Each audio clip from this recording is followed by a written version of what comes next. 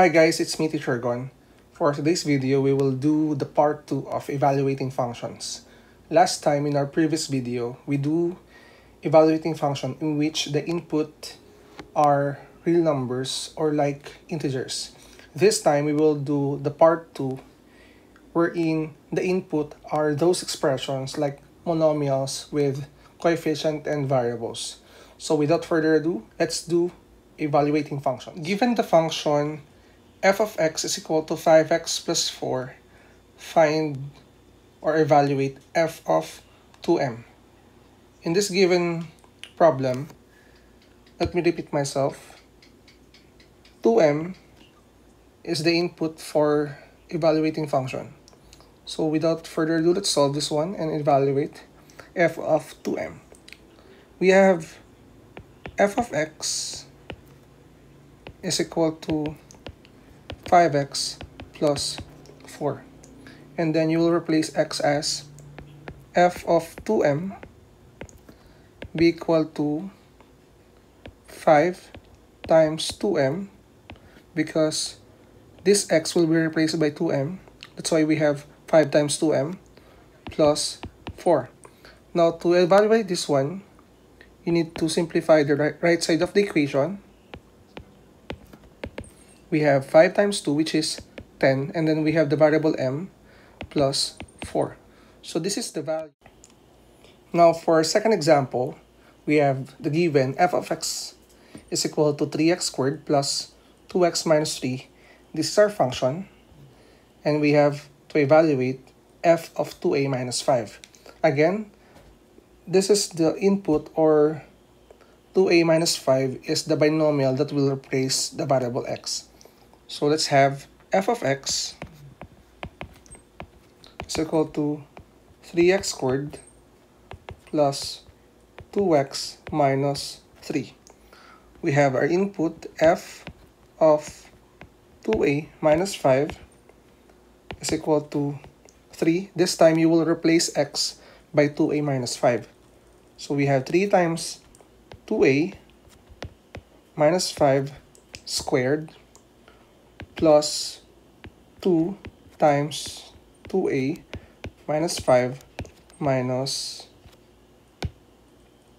3. In this kind of given problem, uh, it will take a while for us to solve this one because there are so many operations. And the main problem here is the exponent and the parentheses. We need to eliminate them. So in this part, if we expand this square of binomial, we have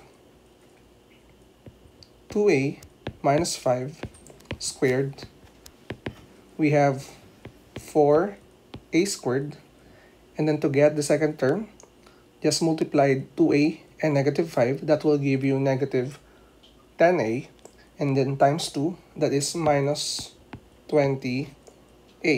And then square negative 25, negative 5, that will give you plus 25. So this part is equal to 4a squared minus 2a we have 3 times 4a squared minus 20a plus 25. And then this time, you will distribute this one. You have 4a, 2 times 2a, and then 2 times negative 5, that is minus 10 minus 3. As you can see, we still need to simplify or eliminate the parentheses. So by distributive property, in multiplying 3, 3 times 4a squared, that is 12a squared, and then 3 times negative 20a, that is negative 60a. 3 times 25, that will give you 75 plus 4a minus 10 minus 3. Now this time, uh, you will get the final answer by uh, by ano, combining like terms. So we have f of 2a minus 5 is equal to 12a squared. Then we have here negative 60 plus 4a, that is negative 56a. Then we have 75 minus 10, that is 65 minus 3 plus 62.